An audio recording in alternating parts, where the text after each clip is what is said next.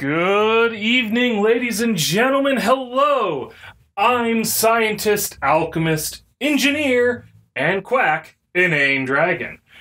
And tonight we'll be adding homeopath to that list of titles, which I think we're going to find is just another sort of a quack, but a very special sort of a quack.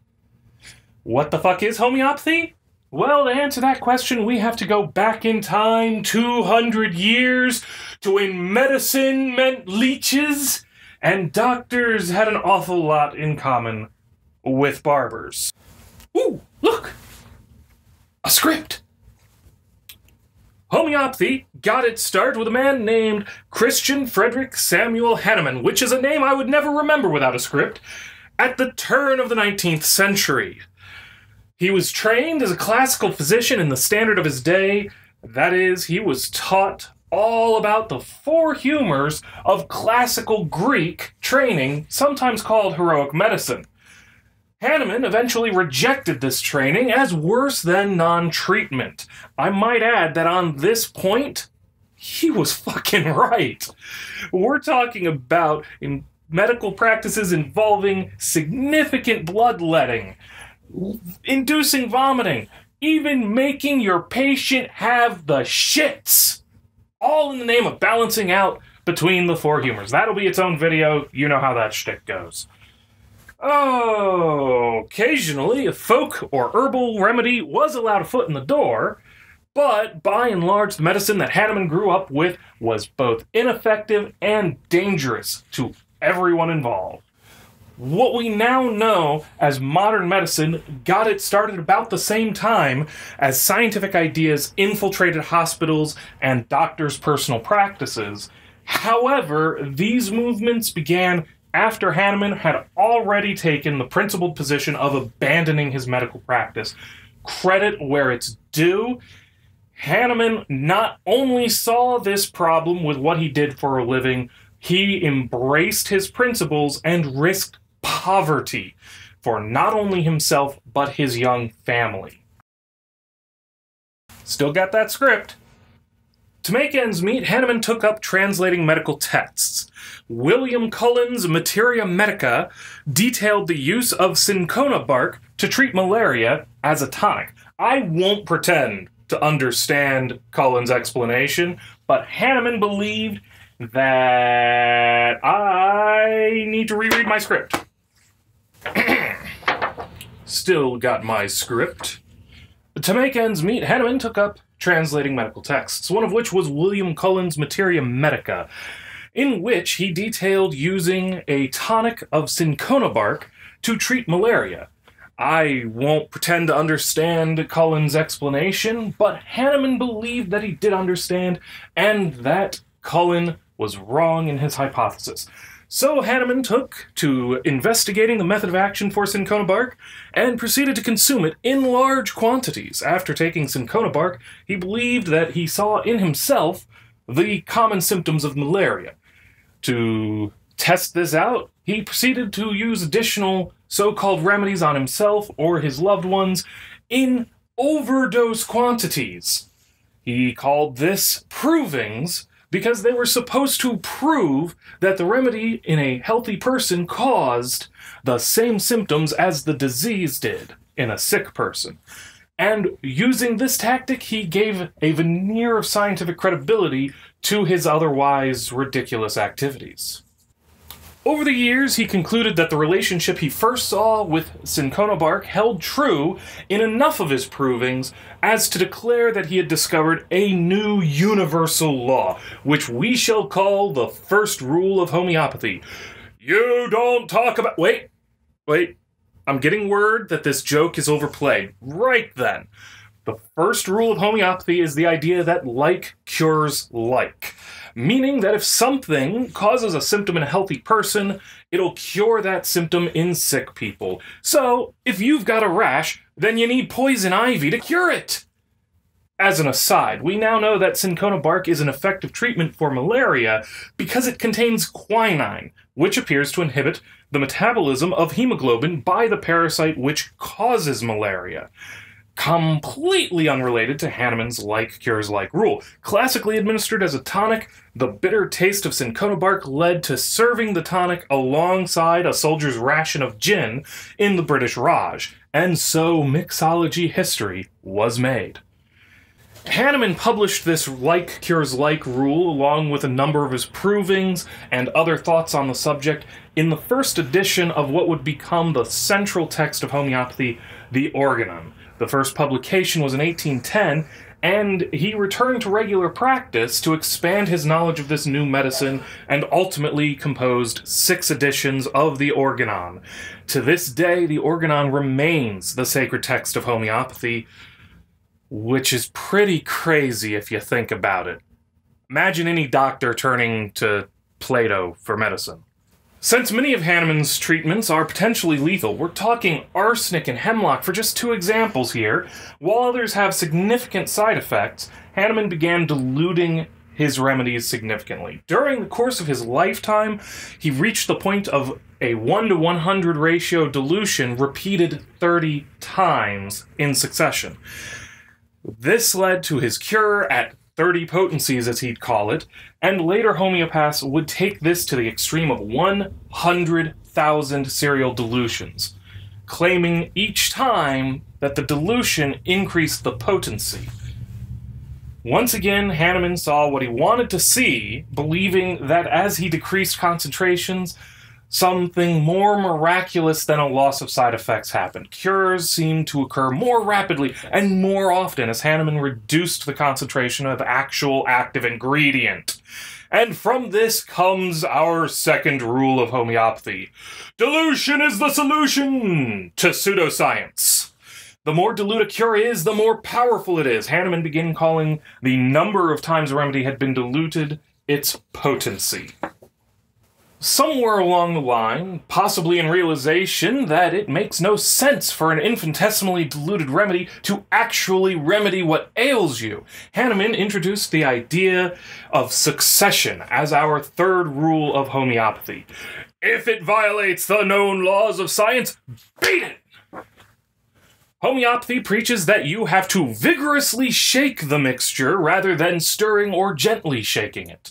This is called succussion, and it is claimed that such shaking potentizes the mixture by imprinting the curative agent onto the water's memory. Because water has memory and it selectively remembers the cure rather than any of the shit quite literally, that has ever been in it, or the glass within which it's contained while you're shaking it. Of course, while all of this was a vast improvement over the heroic medicines of his contemporaries, these have all just been assumptions on Hahnemann's part. He never performed rigorous experimentation outside of his so called provings, and appears to have been susceptible to a substantial amount of confirmation bias, which all just means that the odds are high that he still had something that was no better than a sugar pill or not getting treated at all. So Hahnemann began concocting his most complicated addendum to his story of disease, the concept of a miasm. In short, Hahnemann concluded that chronic or resistant diseases were the result of what he would call miasms, and that these could be caused by noxious vapors, spirits, spiritual failings like sin, or your heredity. Parts of this idea are in line with what we now call the germ theory of disease and congenital disorders before either concept was really developed in science. It also resulted in Hahnemann instituting better cleanliness and patient segregation protocols during disease outbreaks. Moreover, he encouraged healthy lifestyles to prevent the development of miasms, all of which would have been cool, except for one minor problem. Two, even.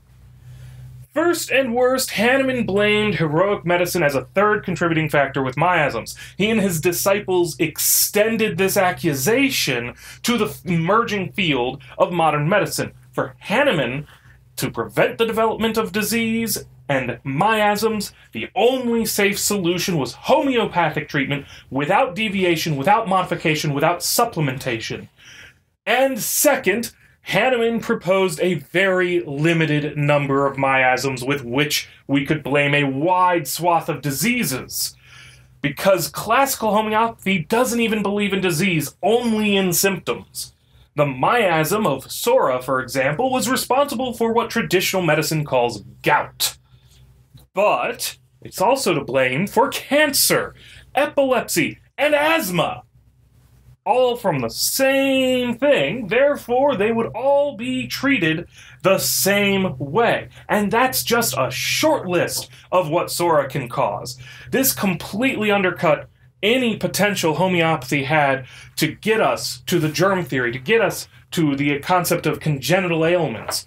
So, this leads to our fourth and final rule of homeopathy. If a homeopathic treatment fails, it's not the homeopath's fault. And it's interesting to note that in spite of the get out of jail free card this gives them, most homeopaths either abandon this concept entirely or modify it heavily for their own use. In summary, if you think something is likely to kill you and you're curing death, then repeatedly dilute that substance until there's nothing left while shaking it vigorously. And if the patient isn't a zombie after administering, it's something supernatural evil's fault. Let us say that you have an unfortunate suffering from slurred speech, loss of coordination, confusion, irritability, nausea, and a tendency to run a YouTube channel. If we look through our various materia medica, we'll see there's no single treatment for all of these symptoms. And in general homeopathic care, well, you gotta use a single remedy at a time. So, let's consider doing a proving. Now, from past experience, I have seen booze cause all of these symptoms. We can therefore conclude that a formal proving of booze as a cure all is necessary. We just have to get someone to test it for us. Wait, we just saw it? Oh, okay. Moving on. Now that we've seen through our proving how effective alcohol is in curing YouTube content creation, we're going to have to make a homeopathic remedy. We have our Kraken 94 proof spiced rum, chosen in part for its color, in part for its ability to inebriate us. And we're diluting it into distilled water, as you do when you are a quack. We're going to have one part rum to 99 parts water, and we're going to do this repeatedly until I either run out of water or patience. Without further ado,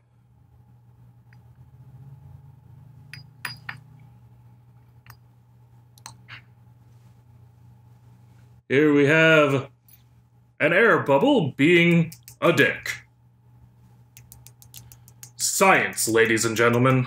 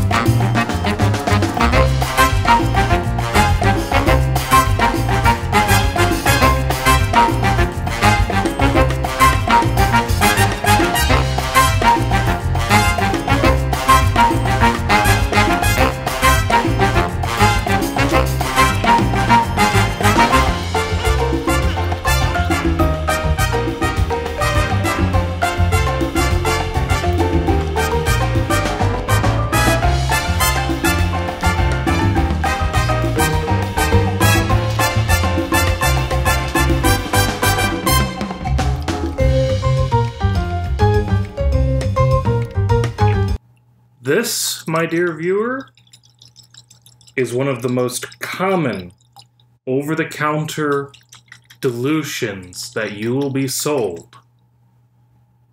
This, a 12C potency, meaning that it's been diluted at a 1 to 100 ratio 12 times. So, if our calculations are correct, this will cure me of YouTubeism. So, how the hell is all this supposed to work? Well, in the 1800s, they at least had the excuse of not knowing much about chemistry and physics the way we do today. The idea of something more than the natural world was also far more plausible. So the idea developed that a spiritual essence of a medication imprinted onto the memory of the water. In reality, by the time you finished diluting your remedy, you'd be lucky to have a molecule of the actual active ingredient in any volume of water smaller than a sphere more than seven light minutes in diameter. That's right, a sphere that could touch the sun on one side and the earth on the other. With at best a molecule of your liquor left over. What you're seeing on screen is a set of ammonia tests. Using an over the counter aquarium test kit and store brand ammonia concentrate for cleaning, as you can see, we go from railing the test kit out at the extreme end of its range to so dilute that it's safe for your fish after just four dilutions. And this shit's supposed to cure what ails you? Please, Tell me you're not so foolish. That's it for homeopathy, my friends. What started as a hope to improve bad medical practices devolved into a cult of personality around Mr. Hahnemann, and lingers on today as an alternative to reality for those who want an easy, painless answer to all of their problems. If you've enjoyed this inanity, please consider subscribing for more of the same. Do that whole rating, commenting, sharing thing as you see fit. And if you are truly inane, consider supporting me on Patreon, such as the likes of Yakru and a Moldy Donut, as well as several others. Links to all of that down below in the description. Thank you all, and have a good night, because I have a script.